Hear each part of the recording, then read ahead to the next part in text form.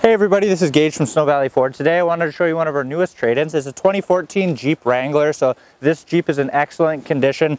The person who actually traded this in used it as a highway commuter from Terrace to Kitimat, so very little uh, off-road kilometers on it. I don't even see any scratches on it to be honest. It'd be a perfect little Jeep for somebody. Uh, it has just over 80,000 kilometers with a 3.6 liter V6.